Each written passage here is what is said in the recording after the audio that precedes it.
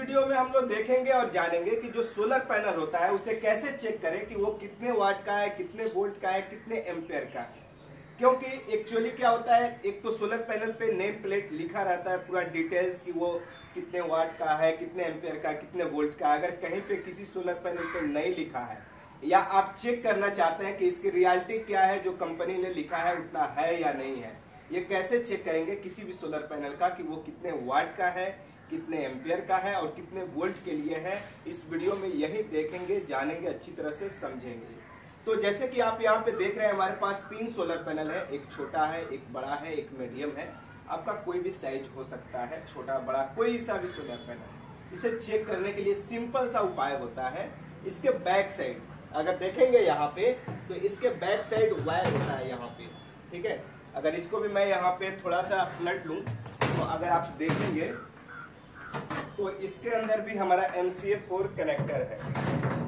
सब solar panel के अंदर हमारा होता है एक नेगेटिव एक पॉजिटिव दो वायर होता है कनेक्शन करने के लिए। तो जैसे कि अगर आप यहाँ पे देखेंगे तो इस सोलर पैनल का टोटल डिटेल्स यहाँ पे लिख दिया गया है कि ये कितने वाट का है, कितने वोल्ट का है, कितने एम्पियर का है। लेकिन ये लिखा हुआ नहीं है, किसी भी कारण हो सकता है कि कहीं पे सोलर पैनल लगा है, बारिश हुआ तो ये क्या होता है, ये फट जाता है, मिटक जाता है, पानी के सीम से या किसी भी कारण, या लिखा हुआ है तो भी हम चाहते हैं कि चेक करें कि ये जो लिखा हुआ है इसमें और रियलिटी जो हम चेक करते हैं, उसमें का कितना फ़र्क आ रहा है, या हम किसी तरह से जानना चाहते हैं कि हमारा जो सोलर पैनल है, वो कितने वाट का है, कितने वोल्ट का है, कितने एम्पेयर का है। तो सिंपल सा उपाय है, ये जो है हमारा ये हमारा जो होता है एक निगेटिव एक पॉजिटिव दो हमारा यहाँ से कनेक्शन होता है। इस दोनों में हम वोल्ट एम्पेयर को चेक करने वाले हैं। तो इसके लिए सबसे पहले जो हमारा सोलर पैनल होता है, इसको हम इस तरह से कर लेंगे धूप के साइड यानी इस तरह से कर लिया, इस पर धूप लगना चाहिए।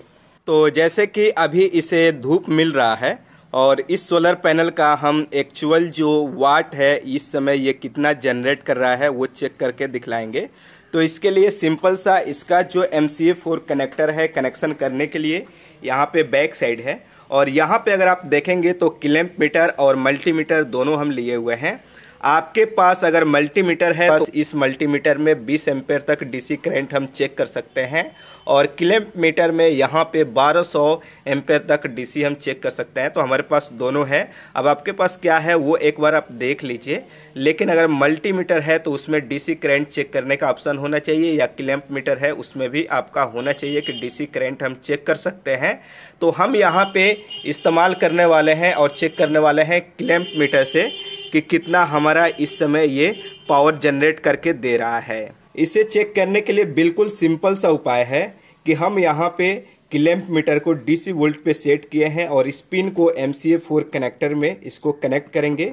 सबसे पहले हम चेक करेंगे कि कितना वोल्टेज ये जनरेट कर रहा है, कितना वोल्टेज हमारा आ रहा है, ये 21 आ रहा है। तो ये क्लियर हो गया कि ये जो सोलर पैनल है, हमारा 12 वोल्ट के लिए है, क्योंकि ये 23 वोल्ट तक अगर आता है तो 12 वोल्ट के लिए है।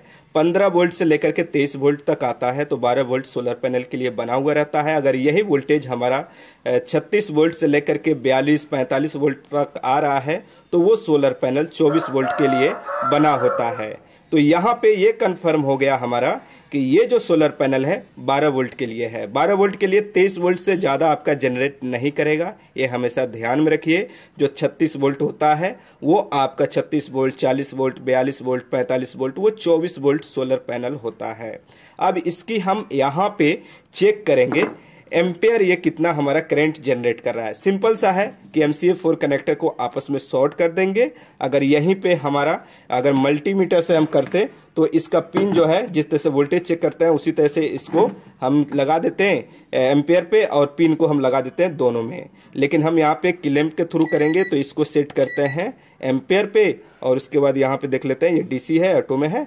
अब इसके बाद देख लेते हैं यहाँ पे इसका पावर जनरेशन अभी ये हमारा कितना एम्पेयर बना रहा है? चार। अभी धूप जो है सनलाइट है, वो कम हो गया है। इसलिए हमारा चार बना रहा है। अगर अभी जो हमारा चार एम्पेयर आ रहा है, और इस समय हम जानना चाहते हैं कि इस समय हमारा कितना वाट ये सोलर पैनल जनरेट कर रहा है तो सिंपल सा हम क्या करेंगे? कैलकुलेटर लेंगे, और यहाँ पे हम क्या करेंगे? वोल्टेज था हमारा ट्वेंटी वन इसको मल्टीप्लाई कर देंगे। जो हमारा एम्पेयर होता है उससे, जैसे चार है तो चार से करेंगे तो हमारा चौरासी वाट अभी जनरेट हमारा है। यानी अभी जो सोलर पैनल है, हमारा चौरासी वाट पे ही काम कर रहा है, क्योंकि सनलाइट कम है। लेकिन पॉइंट हमारा ट्वेंटी था या ट्वेंटी टू था, हम वो ट्वेंटी टू भी डाल सकते हैं तो कितना होगा? हमारा चार वाट और बढ़ जाएगा अट्ठासी पॉइंट टू हो जाएगा।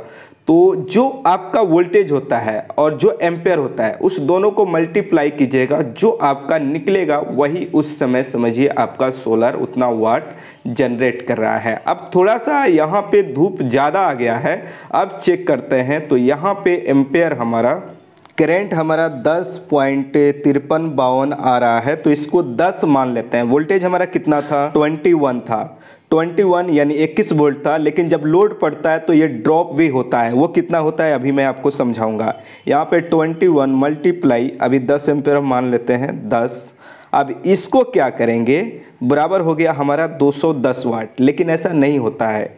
अब हर कंपनी में जो पावर लॉस का है अलग अलग होता है। किसी का 10 परसेंट होता है, किसी का 20 परसेंट, किसी का 15 परसेंट। क्योंकि जो सेल जोड़ा जाता है सोलर पैनल की, वो किस हिसाब से जोड़ा गया उसके ऊपर डिपेंड करता है। हम यहाँ पे माइनस कर देते हैं पंद्रह परसेंट एक लगभग, और उसके बाद कर देते हैं यहाँ पे परसेंटेज। तो ये हमारा 178.5 वाट ये अभी सोलर पैनल हमारा जनरेट कर रहा है। ये होता है एक्चुअल और राइट। अब यहाँ पे हम बात करते हैं जो एम्पेयर होता है। एम्पेयर का क्या मतलब है? अगर 10 एम्पेयर जनरेट कर रहा है कोई सोलर पैनल तो समझिए एक घंटे तक वो कंटिन्यू अगर 10 एम्पेयर देता है तो किसी भी बैटरी को 10 एम्पेयर तक वो चार्ज कर देगा।